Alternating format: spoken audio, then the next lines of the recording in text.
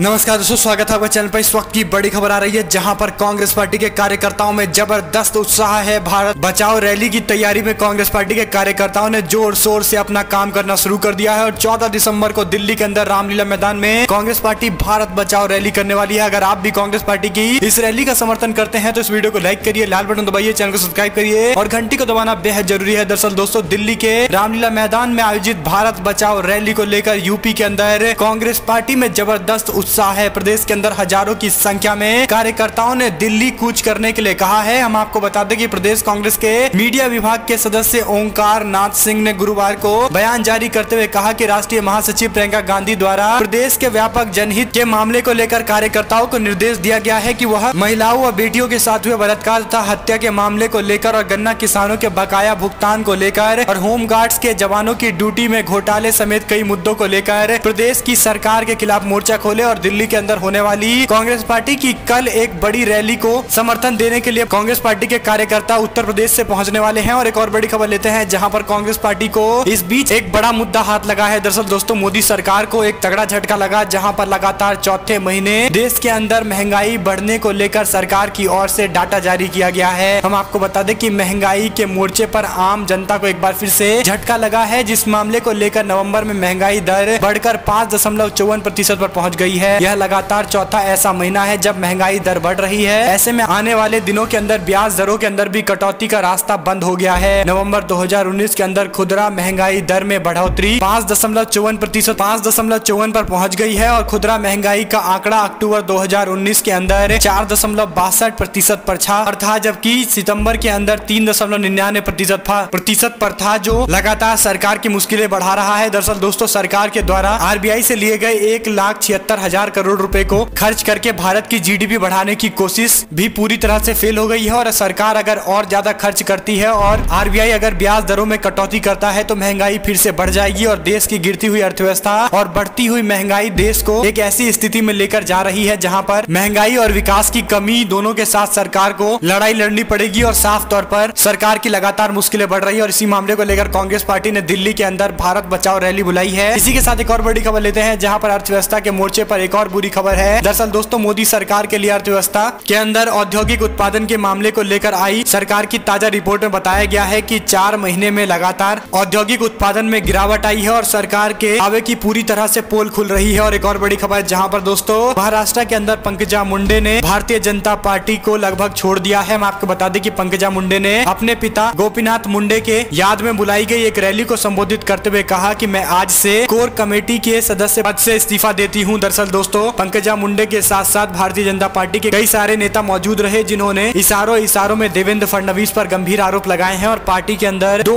अलग अलग धरे बढ़ते हुए दिख रहे हैं। हम आपको बता दें कि पंकजा मुंडे के चुनाव हारने के बाद ये बड़ी खबर आई है, जहाँ पर पार्टी के कार्यकर्ताओं ने भारतीय जनता पार्टी के अपने ही नेताओं पर साजिश करने का आरोप लगाया है। दरअसल दोस्तों, पंकजा मुंडे वही नेता है, जिन्होंने देवेंद्र फडणवीस को मुख्यमंत्री बनाने का विरोध किया था और बाद में उन पर भ्रष्टाचार के भी कई मामले दायर हुए थे और बीजेपी के अंदर अभी भी महाराष्ट्र के अंदर सब कुछ ठीक नहीं दिख रहा है और जल्द ही बीजेपी अगर दो अलग अलग हिस्सों में बढ़ जाए तो इसमें भी कोई आश्चर्य नहीं होना चाहिए क्योंकि भारतीय जनता पार्टी के अपने नेता ही पूरे मुख्यमंत्री से खुश नहीं है। और एक और बड़ी खबर है, जहाँ पर झारखंड के अंदर हुए चुनाव को लेकर डाटा सामने आया है। दरअसल दोस्तों, सत्रह सीटों पर हुए मतदान खत्म हो गए। तीसरे चरण के अंदर बासठ दशमलव तैतीस प्रतिशत मतदान हुआ है। झारखंड विधानसभा चुनाव के तीसरे चरण के अंदर सत्रह सीटों पर मतदान पूरा हो गया। इन सत्रह में से दस सीटें बीजेपी के खाते में थी और इन सभी सीटों पर कांग्रेस पार्टी के नेताओं को बड़ी बढ़त मिल सकती है। और ऐसे में झारखंड मुक्ति मोर्चा और कांग्रेस पार्टी के नेताओं ने दावा किया है कि उनको 12 से ज़्यादा सीटें मिल रही है। और एक और बड़ी खबर लेते हैं, जहाँ पर झारखंड के अंदर एक रैली को संबोधित करते हुए राहुल गांधी ने मोदी सरकार पर हमला करते हुए कहा कि अर्थव्यवस्था के मसले पर पीएम नरेंद्र मोदी की सरकार पूरी तरह से फेल है। अर्थव्यवस्था के मोर्चे पर झटका झेल रही मोदी सरकार पर कांग्रेस पार्टी के नेता राहुल गांधी ने एक बार फिर से हमला किया है। झारखंड के विधानसभा चुनाव में प्रचार करने पहुँचे राहुल गांधी ने कहा कि आज देश के अंदर महँगाई बढ़ गई है, अर्थव्यवस्था नीचे गई है, चली गई है। इसी सभा के अंदर राहुल गांधी ने एक फॉर्मूला सुझाया। उन्होंने कहा कि देश की अर्थव्यवस्था को खड़ा करने के लिए केवल पंद्रह मिनट का समय लगने वाला है। राज्य महल के चुनावी सभा के अंदर राहुल गांधी ने कहा कि नरेंद्र मोदी सिर्फ़ अमीर आदमियों की मदद करते हैं और जितना पैसा मोदी सरकार ने अमीरों को दिया है, अगर वही पैसा गरीबों के खाते में दे दिया जाए तो देश की अर्थव्यवस्था तकरीबन पंद्रह मिनट के अंदर खड़ी हो जाएगी, क्योंकि गरीब के पास जब पैसा आएगा तो गरीब सामान खरीदेगा और सामान खरीदने के साथ ही डिमांड बढ़ेगा और डिमांड से इंडस्ट्री लगेगी और इंडस्ट्री के साथ सभी को रोज़गार मिलने शुरू हो जाएँगे और एक ये पूरा चक्र चालू हो जाएगा। और इसी तरह के सुझाव देते हुए अर्थव्यवस्था के अंदर नोबल पुरस्कार अभिजीत बनर्जी भी दे रहे थे। और एक और बड़ी खबर लेते हैं, जहाँ पर सिटीजनशिप अमेंडमेंट बिल को लेकर भारतीय जनता पार्टी की लगातार मुश्किलें बढ़ गई है। दरअसल दोस्तों, अब इस बिल को लेकर एक बड़ी खबर आई है, जहाँ पर असमिया सिनेमा के प्रमुख अभिनेताओं में से एक जतिन बोरा ने नागरिकता संशोधन बिल के विरोध में भारतीय जनता पार्टी छोड़ दिया है। जिसके साथ ही जतिन बोरा ने सीएबी के खिलाफ चल रहे विरोध प्रदर्शन में शामिल हुए हैं। वहीं पर बांग्लादेश के विदेश मंत्री अब्दुल मोमेन ने अपना भारत का दौरा भी रद्द कर दिया है और उन्होंने कोई कारण नहीं बताया। हम आपको बता दें कि अमित शाह के द्वारा बांग्लादेश के अंदर अल्पसंख्यकों के साथ बुरा बर्ताव वाले बयान को लेकर बंगाल सरकार के अंदर नाराज़गी देखने को मिली है और बंगाल सरकार के विदेश मंत्री ने कहा की इस तरह के बयान देने नहीं चाहिए थे और एक और बड़ी खबर लेते हैं, जहाँ पर दोस्तों विमान मंत्री हरदीप पुरी की ओर से कहा गया की एयर इंडिया के अंदर भारत सरकार सौ हिस्सेदारी बेचने की मंजूरी दे दी है। सरकार की एयरलाइंस कंपनी एयर इंडिया ने केंद्र सरकार अपनी पूरी हिस्सेदारी बेचने वाली है। Civil aviation minister Hardeep Singh Puri ने लोकसभा के अंदर एक सवाल का जवाब देते हुए बताया कि एयर इंडिया ने भारत सरकार की 100 प्रतिशत हिस्सेदारी बेचने को मंजूरी दे दी है। वित्त वर्ष 2018-19 के अंदर एयर इंडिया को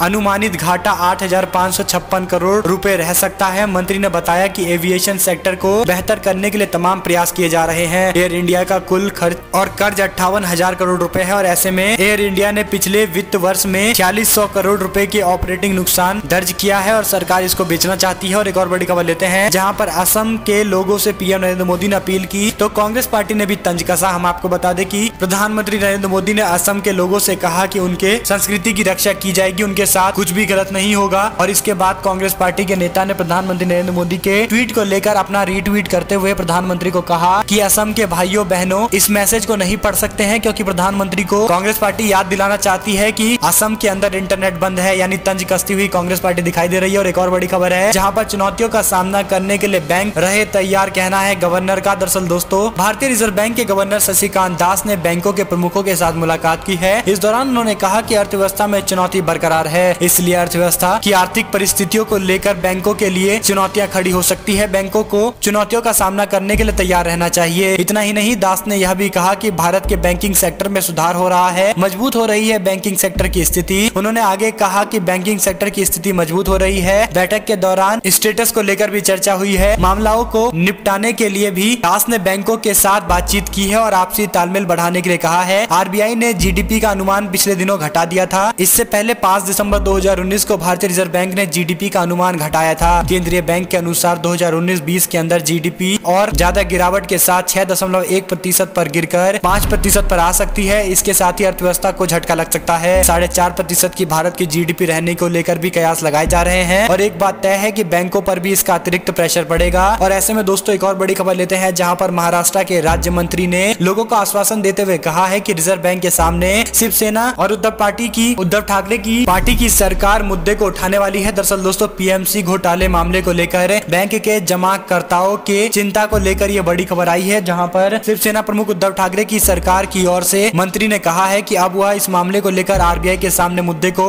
आगे रखेंगे और जल्द से जल्द इन सभी लोगों के पैसे वापस कराने की पूरी कोशिश की जाएगी। एक और बड़ी खबर है, जहाँ पर जेडीयू में बढ़ रहा है मतभेद। अब एनआरसी के मामले को लेकर विरोध कर रहे हैं प्रशांत किशोर। हम आपको बता दें कि सीएबी के जनता दल यूनाइटेड में मतभेद बढ़ा है। पार्टी के उपाध्यक्ष प्रशांत किशोर ने विरोध जताया है। नागरिकता संशोधन विधेयक पर जेडीयू में मतभेद बढ़ता जा रहा है। जेडीयू के संसद के दोनों सदनों में नागरिकता बिल का समर्थन करने को लेकर पार्टी के राष्ट्रीय उपाध्यक्ष प्रशांत किशोर ने विरोध किया है। प्रशांत किशोर ने गुरुवार को ट्वीट करते हुए नागरिकता संशोधन विधेयक और नेशनल रजिस्टर ऑफ़ सिटीजन का विरोध किया है और उन्होंने संकेत दे दिए हैं कि किस तरह से राजनीति में बिहार के सिटीजनशिप अमेंडमेंट बिल को लेकर और भी आगे मुद्दे बढ़ते हुए दिखाई देंगे। और एक और बड़ी खबर लेते हैं, जहाँ पर दोस्तों झारखंड के विधानसभा चुनाव में रघुवर दास सरकार को चुनौती देने वाले भारतीय जनता पार्टी के वरिष्ठ नेता सरयू रॉय ने राज्यपाल से मुलाकात की है और अपना इस्तीफा सौंप दिया है। हम आपको बता दें कि अभी चुनाव का दिन चल रहे हैं और ऐसे में सरकार अभी भी बनी हुई है केयर टेकर सरकार के रूप में और ऐसे में सरयू रॉय मंत्री के रूप में काम कर रहे थे, जो अपने पद पर बने हुए थे, लेकिन उन्होंने राज्यपाल के सामने जाकर अपने इस्तीफे का पेशकश की है और अब वह मंत्री नहीं रहेंगे। हम आपको बता दें कि उन्होंने रघुवर दास के खिलाफ चुनाव लड़ने का ऐलान कर दिया है और संकेत दे दिए हैं कि आगे आने वाले दिन के अंदर झारखंड की राजनीति कैसे रहने वाली है। आपको खबरें कैसी लगी? लाल बटन दबाइए, चैनल को सब्सक्राइब करिए, घंटी को दबाइए। हमारे साथ लगातार बने रहिए, हम आपको सारी अपडेट देते रहेंगे। और एक और बड़ी खबर है जहाँ पर दोस्तों